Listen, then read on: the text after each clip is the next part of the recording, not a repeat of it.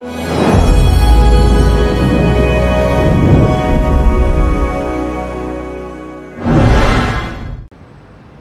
guys, Coach Kara here, and it's time to bring you our very first Weekend Warrior of Season 10. It's Weekend Warrior 1 time.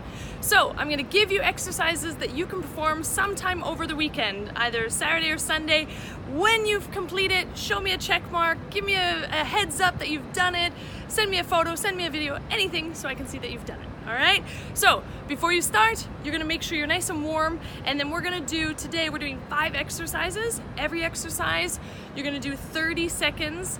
You're gonna do four to five rounds, depending on your level and depending on what you're comfortable with, all right? Warmed up, and we're gonna start with sh side shuttle. So you're just gonna go back and forth. You can move your arms if you want.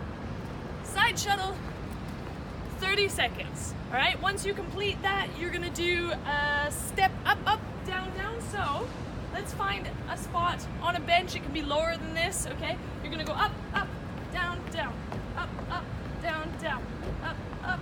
Stand nice and tall, up, and then switch legs halfway through.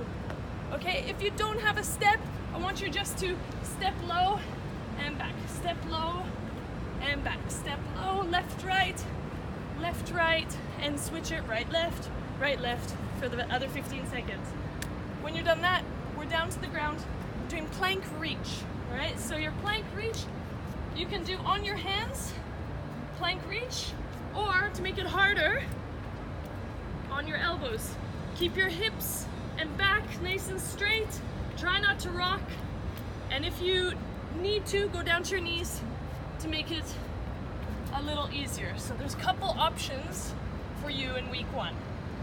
From there, we're gonna do Russian twist. So switch over. Okay, knees are bent, sit up nice and straight, shoulders back, chest out. Sit back until you feel the tension in your abs, and then you're just gonna go side to side, moving the whole body, controlled. Not like this. okay, I want you controlled, side to side, keep the tension on the abs, if it's too easy, lean back, too hard, sit up tall, okay? If you feel any pain in your lower back, you can stop and maybe just do an ab hold instead until you're stronger to go into your twist. And our last one is crab walk. So you find your space again, you're gonna sit down into squat, and you're gonna go side to side, making sure that you keep level, so you're not going up and down, side to side, Stay nice and level under the ledge. You put your hands up for a crab walk if you like. Whatever goofy thing you want to do that gets you through the burn of your legs, especially after leg day.